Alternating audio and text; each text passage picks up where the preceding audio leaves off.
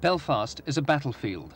Since 1969, fear has forced thousands of Catholics and Protestants living in mixed areas of the city to leave their homes and seek refuge within their own communities, and the biggest forced transfer of population seen in Europe since World War II. In the city with the worst housing problem in the United Kingdom, 10,000 houses stand empty. Sectarian killings and intimidation accelerate the process. Because in Belfast, houses are more than just places to live in. They're territory to defend, positions to take. Street by street, the shadowy armies of Ulster's paramilitary forces, the IRA and its Protestant counterparts like the UDA, draw the lines for control of their areas and ultimately for control of the city. Meanwhile, half the population live in substandard accommodation. Both Catholics and Protestants live in appalling conditions. And if all this seems pointlessly self-destructive, there's a grisly logic behind it.